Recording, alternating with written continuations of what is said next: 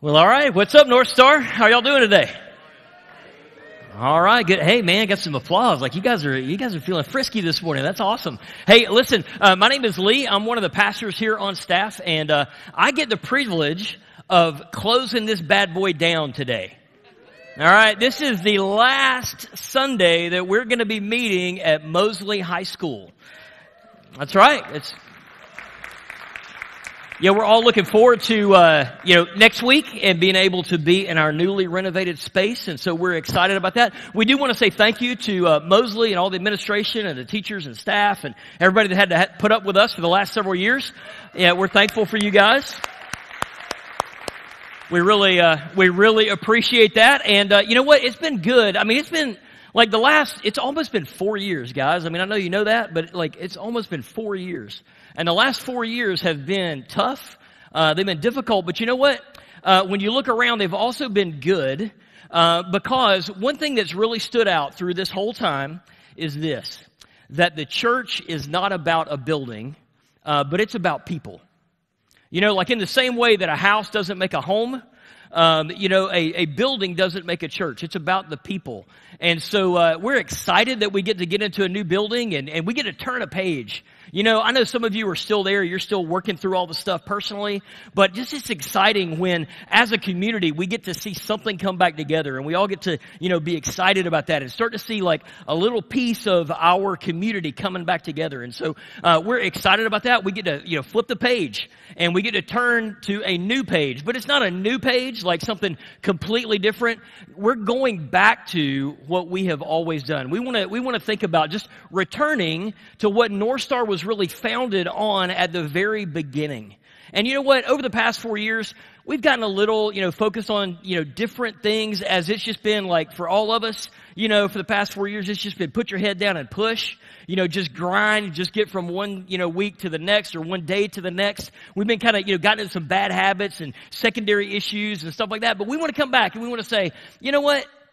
We get to flip the page. Let's go back and let's see what it's all about. Why do we do what we do as a church? And then, in the same way, we want to talk about why do we do what we do as followers of Jesus? Because here's the thing, guys. This church, North Star, is only going to be as healthy as each of you who say that you are followers of Jesus are healthy. Um, this church, we're supposed to be about three things, and it's the same three things that you, as individual followers of Jesus, are to be about. And so, t- what we're to do is, as individuals, we're to be following Jesus, pursuing these purposes He's got for us. And then when we do that, God, our lives are going to be healthy, and our church is going to be healthy. There's no way that we're going to see the love, the peace, the joy, you know, the purpose that God has for us if we're not following the plans and the purposes He has for us. So we want to talk about those this morning. So we want to talk about three things. They're not original things. Uh, you know, they're not like like I'm not about to say three things and you're like I've never thought of that before. Like there's coffee mugs and t-shirts and bumper stickers and like all kinds of stuff that have these same three things on them. But just because they're familiar doesn't mean that they aren't powerful. They're important because these are the three things. We didn't just pull them out. We didn't like get together as a staff and go like, hey, what are the three things y'all want to do? We went back and we said, okay, God, what is it that you want us to do as your people? And it's these three things. It's love God, it's love others, and it's make disciples. Those are the three things that God said that we as individual followers of Jesus and we collectively gathered together as His family, the church, we are to be about. And so we want to talk about them a little bit this morning. Like I said, we didn't pick these, we didn't make them up. In fact, um, Jesus Himself is going to tell us what these three things are. Um, there's a couple of different times in His uh, life and ministry when people came to Him and they said, Jesus, what's the most important thing to do? And it's funny, a lot of times they were coming trying to trap him. So, uh, in fact, the passage we're looking at today, uh, there was a religious leader who came and he was trying to like catch Jesus. He was trying to trap him. And so he asked him in Matthew chapter 22, he said, Teacher, which is the most important commandment in the law of Moses? And Jesus replied, You must love the Lord your God with all of your heart, all your soul, and all your mind. This is the first and greatest commandment. A second is equally important. Love your neighbor as yourself. The entire law and all the demands of the prophets are based on these two commandments. So what Jesus is saying there is this. Basically, the Old Testament, what we would know as the Old Testament, it was the scriptures that they had, you know, for Jesus. They, he was looking back and he said, all of the Old Testament, all the law, all the prophets, it basically comes down to two important things love God and love people. And he said, all those other commands that you have, those are like pegs. And he says, all the other commands that you find there, they're all hung off of those pegs. So it's all about loving God and it's all about loving others. So what does it mean to love God? Do we just get to, uh, you know, determine what we think love, you know, should be like? Well, no, we, we need to look and we need to say, God, what do you think love is? And he says in 1 John 5, John writes to us and he says this Loving God means keeping his commandments. And his commandments are not burdensome. So, what is it that God expects of us? What does God want from us? How do we express love to God? Well, we do that through simple, loving obedience. Simple, loving obedience. So, let's talk about that a little bit. Simple. The commands of God, really, they're really pretty simple. Most of the time, if you're honest with yourself, it, when you go to a situation, you really know what probably the right thing to do is. As you're reading through the scriptures, you usually know, like, here is something that I could do that would be the right thing for me to do based on what it says here. It's usually simple. Now you go, no, no, no, it's usually complex. No, it's only complex because you go, after I take that simple step, then what will be the next step and the next step and the next step? Like, what's it going to look like, you know, as it all plays out? And, you know, like five years from now, if I take that one step, what's it all going to look like? What all am I going to have to do? Where all am I going to be? How am I going to get the money for it? How's it all going to work out? What are they going to want from me? We start getting complex then. But usually it starts pretty simple. God says, you know, I've got this one simple step for you to take. He said that there in First John. He said, you know, they're not burdensome, they're not hard, they're not complex. I mean, they might be difficult. I'm not saying it's always going to be easy to follow Jesus or take those next, next steps, but it shouldn't be, like, it shouldn't be exhausting. You know, guys, like, I mean, if you're following Jesus and it just feels exhausting, it just feels like a burden or like a weight, then you're doing it wrong. Okay, because Jesus is the one who said, Come to me, all of you who are weary and heavy burdened, and I will give you rest. Take my yoke upon you and, and learn from me because my yoke is easy and my burden is light. What he's talking about is that, you know, when you have a yoke, it's a, you know, a piece of wood that links two oxen together. And so what he's saying is, I got my half I want you to put it on your shoulders as well, and you take your half, and then we're going to walk together. And you're never going to take a step alone. You're never going to do anything by yourself. Everything that you do, you're taking one step with me, and then the next step we're going to take together, and we're going to keep in step with the Spirit. And every step you take, the Holy Spirit is going to be helping you to take those steps and do whatever it is that I've asked you to do. Right? So it should be simple. It should be simple. It should be loving as well. He said that. You know, loving God means keeping His commandments, and His commandments are not burdensome. We love God by keeping His commandments, but it's not about duty or obligation. Okay? See, like, I mean, I grew up, you know, in the South. I know how it works. Um, you know, I, I, this is some of the stuff that I heard. I don't know that it's what the, the church has taught, but it is what I heard. It's how I received it. And, uh, and what I felt like was that I had to obey God so that God would love me. Actually, that's not even exactly right. Here's what I grew up thinking I have to obey God so God won't be mad at me. That's what I thought. But some of you, maybe you think I need to obey God so that God will love me. That's not true at all. That is completely false. You do not have to obey God for God to love you. God loves you. Like right now, God loves you. It doesn't matter who you are. It doesn't matter what you've done. It doesn't matter what's going on in your heart. God, like God loves you. God created you and God loves you as you are right where you are. God doesn't love some future version of you, like where you get all of your junk together and you get all cleaned up and polished up and you look nice and shiny and, and you know, er, you smell good and all that kind of stuff. And God's like, now, you know what? Now I love you. No, God loves you right now in the middle of the mess that you're in. You know, some of you may be here and you're like, I don't, you know, I don't even follow Jesus. I'm just doing my own thing. I know. Jesus loves you right where you're at. Jesus loves you. Some of you, you know, you're, you're followers of Jesus, but you know what? You got that stuff that you got hidden away. Like you got that stuff that's going on in your life, and you're like, "Ain't nobody knows about all this," and uh, and I got to make sure nobody finds out because if anybody finds out, there's no way that they would love me or that God would love me. I don't know about them, but I do know about God, and God already knows about it, and God already loves you. And so, what we're talking about when we talk about loving obedience is that it's based on the fact that God already loves you and so then, as an expression of your love for God, then you obey. You're not obeying so that God will love you, you're obeying because He already does. Right? So it's simple obedience, it's loving obedience, and then finally, it's obeying obedience, right? Simple, loving obedience. He says there that loving God means keeping His commandments. Notice he didn't say loving God means knowing His commandments.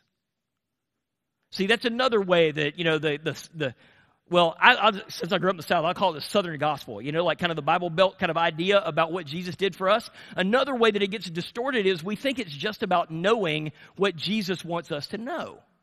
Right? As if like I got to accept just enough of Jesus so that when I die, I get to go to heaven and I don't have to go to hell. Right? And then the way that plays out usually is like I get to live like hell all my life and then I get heaven when I die.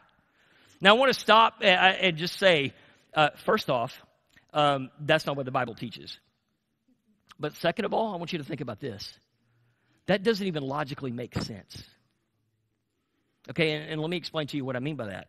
If what you want is you just want to make some decision, you know, like, I mean, you know, uh, you know how it works. It's like, man, when I was little, I like, you know, prayed a prayer, I walked an aisle, I got baptized, whatever. But then ever since then, I just kind of do whatever I want. Like, and your goal is just to keep God as far out of your life as you can so that you can just kind of do your own thing and live your own way and accomplish your own stuff. What you're saying is, God, I don't want you involved in my life. And then here's the reality. When you get to heaven, you know what heaven's all about? Heaven's about the fact that God is going to be living with us. He's going to be walking with us. He's going to be talking with us. Like He's going to be living with us. It's all about God. I mean, it's all God all the time. 24 7, you know, like He's the sun, He's the moon, He's all of it. It's all about Him, right? And so if all of our life we've been like, you know, I don't want God, are you even going to want heaven? Because it's about wanting God. It's not about wanting to, to escape punishment. I mean, I get it. Like, hell's bad. I don't want to be there either. I want to escape the punishment. But more than that, you know what? I want God. Because when I understand who He is, and I understand how much He loves me, and I understand how gracious He's been to me, and I understand the mercy that He's poured out in my life, and I see the way He's protected me, and He's provided for me, and He's walked with me, and He's helped me, like, I want to know Him more. Like I want more of him and I obey because the more I obey, the more I know about him. And the more I, I obey, the more I get to experience him. And I want to know God more. And so that's why I obey him. I obey him because I love him. And I want to know him better. And so he says there, we're to love God. That's what we're, we're to be about. And guys, I know I sound like a, uh, a broken record, you know, like I'm like, you know, I like, you know, I just got, I got like one, you know, one song that I can play. That's, that's really about it. But, um, and this is it. If there's one thing that you could do that would help fuel your love for God, it would be this that you spend time with Him every day. And so uh, I've taught about this a couple of different times. You can go back and you can find those. Or, you know, you can email me. You can catch me in the, in the lobby, whatever. I'd be happy to talk to you more about this. But I've, I've, I've put in your notes there how you can spend time with God every day. And I'd encourage you to do that. To just take some simple steps and kind of walk through and hear from God as He speaks to you Himself through the Bible. If you got questions about it, man, I'd love to help you with it. Anybody on staff, we would love to talk to you more about it because there is nothing more uh, that would that would be more helpful in your walk with Jesus than beginning to read the Bible and hearing the Spirit speak to you through it every single day. So we want to love God. Maybe you want to love God by beginning to take that step and say, you know what, I don't know how it all works, but I'm going to try it. I'm going to try to read the Bible. I'm going to try to hear what God has to say to me today. You know, and you're going to try to take that step. Love God. Here's the second thing he says the second thing is we're to love others like Jesus. We're to love others like Jesus. I got to be honest, of these three things, this is the one I struggle with the most, right? And so, uh, since I struggle with it, I don't have to do it, right? I mean, that's, that, that, that's not true, but that's how we work, right? We look at it and we go like, which of these do I like? Actually, I don't like any of them. Let me just chuck them and, you know, like do my own thing. No, all three of these things, there's going to be stuff that you struggle with. You know what? I, I, I enjoy um, drawing close to God, loving, love, you know, learning more about Him. I like that. I enjoy teaching others about that. I enjoy making disciples. Loving others has always been a challenge for me. And so, one of the things I feel like God's really been teaching me in my time here at North Star has been to love other people, like to, to learn to love others. I struggle with it, and I don't think I'm alone. Right? Here's why I don't think I'm alone. Because at another time, when one of these guys came to Jesus and he said, Teacher, what do you think's the greatest commandment? Jesus said, What do you think? And he said, Love the Lord your God with all your heart, soul, mind, and strength. Love your neighbor as yourself. And Jesus said, That's right. Go and do that, and you will live. And the guy said, Hold up. And he said he wanted to justify himself. You, wanted to, you know what he wanted to justify himself about? He said, Who is my neighbor? He wanted to justify himself in terms of loving others. What he was thinking is, you know, I got a few people I love, people that I like, people in my family, people I got to love, whatever people, you know, but I don't want to just have to love anybody. So Jesus told him a story. And he told him a story and he said, you know what? There was a man, he was going from Jerusalem to Jericho, two cities there. And he said he was on the way, and some robbers came down. They mugged him, they beat him, they stripped him, they stole everything from him, and they left him laying on the side of the road, left him for dead. And he said, right after that, a pastor came walking down the street. You know, it was actually a priest, but, uh, you know, for us, it'd be like a pastor. Pastor's walking down the street. He looks up, he sees the guy in the ditch, and he goes, you know what? I think I'm going to go to the other side of the street. I'm just going to stroll down the other side of the street. I mean, you know how that works, right? You've been downtown, you've been walking down the sidewalk, and you look up, you see a homeless person up ahead of you, and you're like, oh, man, I don't even want to have to deal with that today. So you just cross the street, you walk down the other side of the street. That's what he did. He just completely blew past the guy. So then a staff member came up, right? A church staff member, one of the Levites, people in charge of taking care of all the things in the temple. Um, that he came walking up and he saw the guy and he did the same thing. Detoured to the other side of the road and he just kept going. And then Jesus said, a Samaritan came by. And now a Samaritan would have been the most hated people, you know, for, for Jews. They did not like each other at all. So he said the Samaritans come walk come, comes down. He gets off his donkey, he gets down, he takes care of the man, he binds up his wounds, he takes care of him, he puts him on his donkey, he takes him to the next city, he puts him in the inn, and he says, Here's some money for his wounds, take care of him. I'm gonna go, I got something to do, and but when I come back, give him anything he needs, and when I come back, I'll take care of it, I'll pay for it all. And Jesus looked at the man and he said, Which one of these you know, was his loved the most? And he said, Well, the one that showed him mercy. And Jesus said, Go and do likewise. And and and this story it helps me in all the areas where I struggle. Right? Because the reason I struggle with loving others is quite honestly, I mean, like, can I just be transparent with you for a minute? Like, I mean, is this like a safe place? I mean, it's not, but I mean, it's a church, like, but it's supposed to be a safe place, right? And so, uh, but yeah, it's a safe place, right? Here's, here's where I struggle with loving people it's risky. You know, you, you don't ever know how it's going to turn out. You know, uh, and so this guy, he's walking down, this guy's mugged. And this, the dude on the donkey obviously had some money, the Samaritan, but he gets off his donkey, he stops, and he puts himself at risk. He could have been mugged as well. It's risky. You don't know what's going to happen. You, you, you never know. It's actually kind of thrilling too because you never know what's going to happen, right? It's, it's, I guess that's my adrenaline. Some of you like to do stupid stuff like jump out of airplanes. I just like to take other risks with people I don't know. Anyway, uh, so it's risky, right? It, it, it's risky. It's, you know what? Here's another thing though. It's, it's inconvenient. You know what? I have never yet had anyone call me with a need or present some issue that they had they needed help with that they were like, "Could you work this into your schedule for me?" They were like, "Help!" You know, or they're just laying there all busted up in the ditch, and it's like, "I got to do something right now." It's not convenient.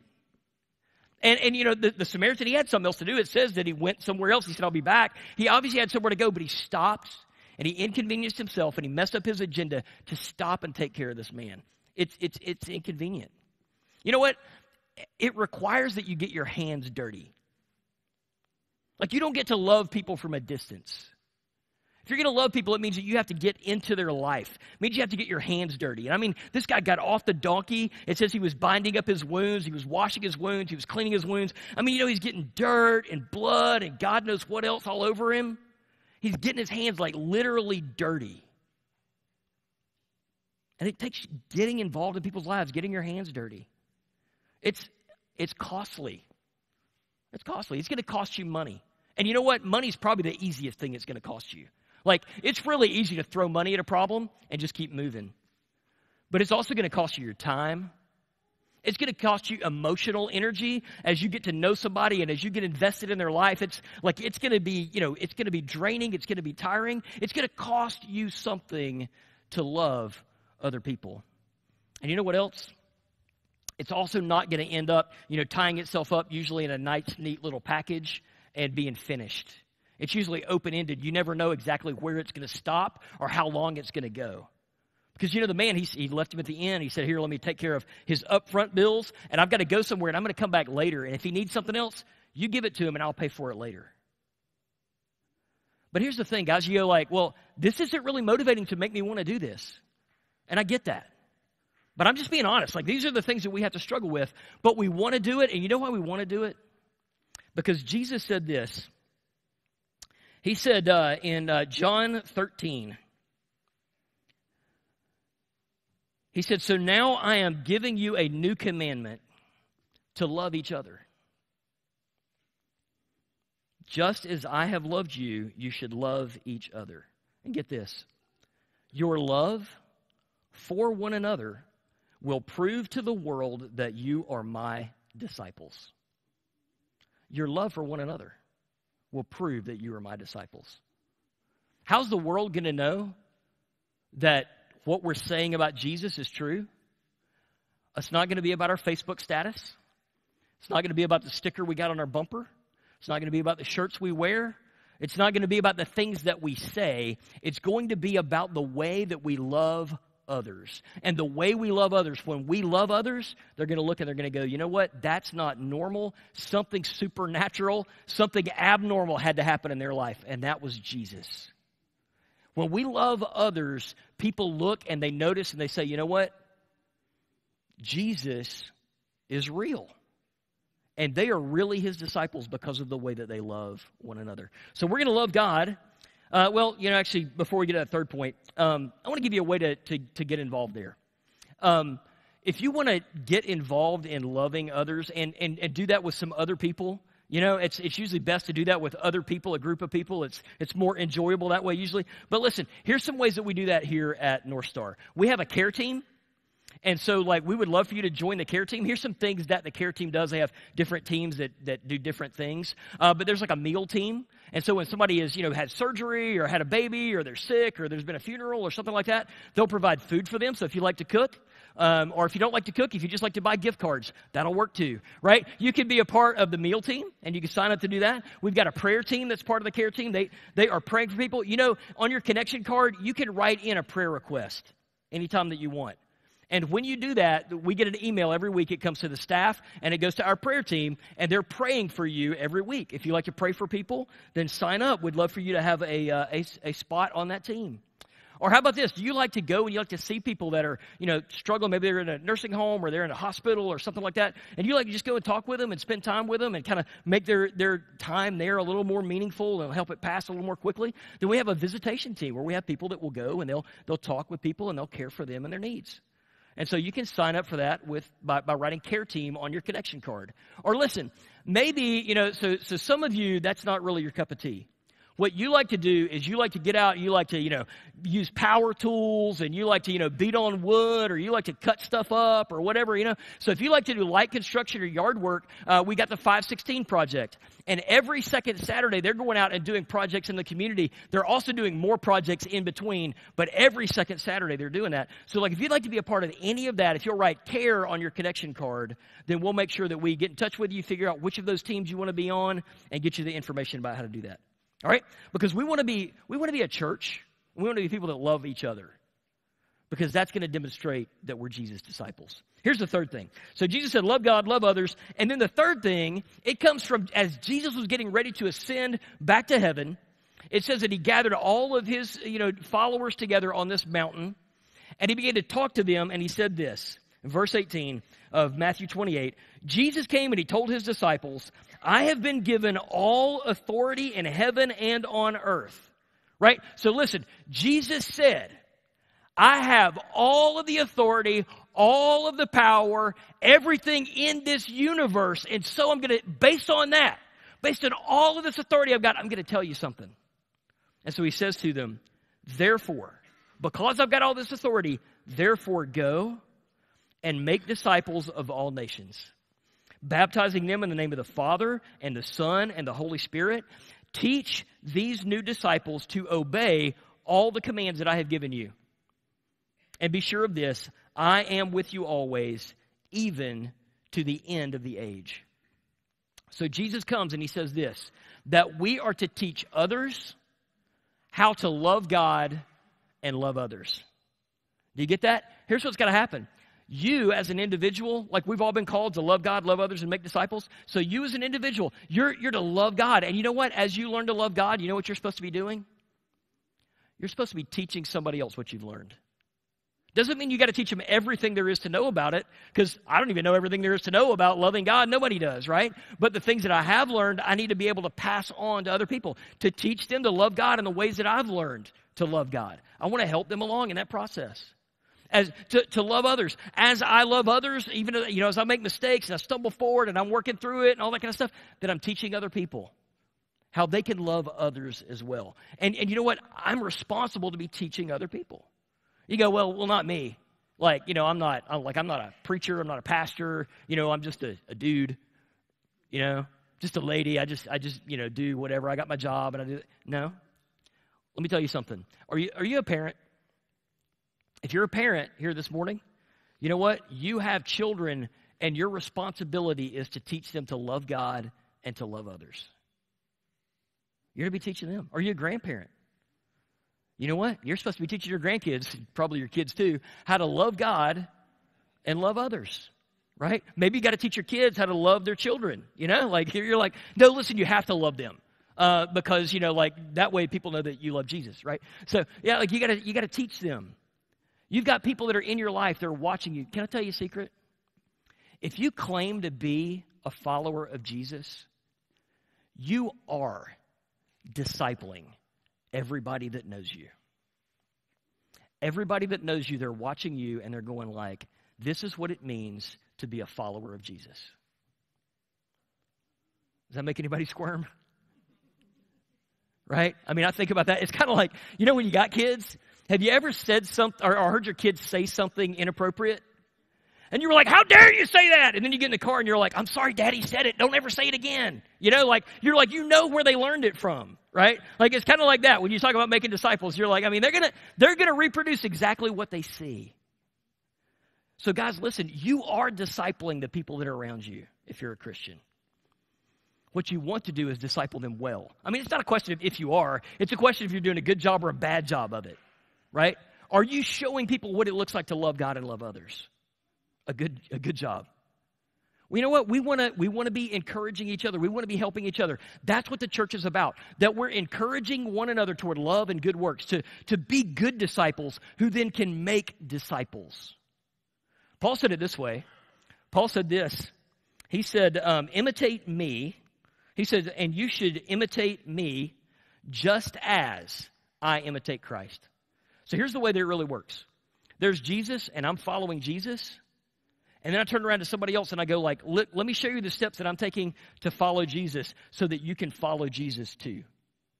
Right? And they are imitating me just as I am trying to imitate Jesus. That's what discipleship is all about. And guys, listen, that's what we want to be about.